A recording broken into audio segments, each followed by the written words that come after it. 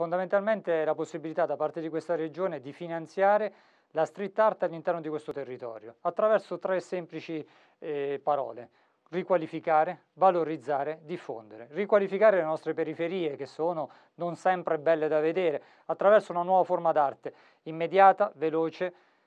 economica, aperta e libera per tutti quella che è la street art che vediamo mm, spesso sui muri delle nostre città, troppo spesso gli si dà anche poca, poco valore. In realtà sono opere meravigliose di importanza anche internazionale. Immaginiamo un nome su tutti, Bansky, una sua opera in questo momento è una delle più ricercate, appare all'improvviso un artista di cui non conosciamo nemmeno il nome.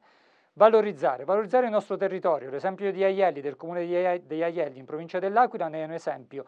attraverso delle opere su delle palazzine, delle case che magari non avrebbero nemmeno tutto questo grande valore perché ricostruite dopo il terremoto dei primi del Novecento, quindi non un vero contesto storico di quel paese, attraverso questa idea geniale di questo paese si è riusciti a portare un numero incredibile di turisti a conoscere quel paesino, a passeggiare dentro quel paese e creare una vera economia di ristoranti, pub, ricettività, piccoli alberghi, eh, tutto ciò che è possibile fare all'interno di un piccolo paese che senza la street art sarebbe rimasto nell'anonimato del nostro entroterra. Questo potrebbe essere mutuato all'interno della nostra regione in tanti piccoli paesi che sono meravigliosi da vedere attraverso un'idea stupenda e formidabile come quella della street art. Infine quella di diffondere. All'interno di questa norma abbiamo previsto un fondo che la Regione Abruzzo stanzia per poter fare delle pubblicazioni una volta l'anno dove censire tutte queste opere e creare un vero percorso per il turista che voglia girare la nostra terra